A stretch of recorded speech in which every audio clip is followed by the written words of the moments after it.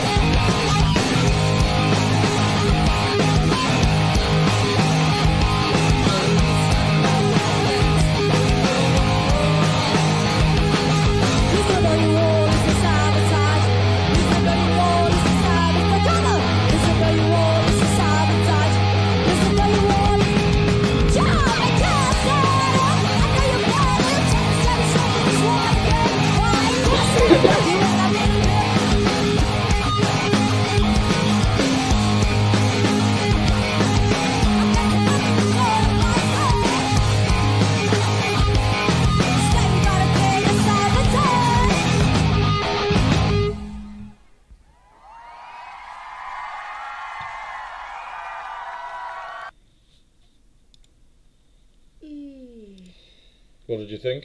Don't know. You don't know. It's like bad but good at the same time. Bad but good at the same time. So- What was bad about it I don't like a voice in that song? uh, in, in any song. Oh. What was good about it? Music. The visual.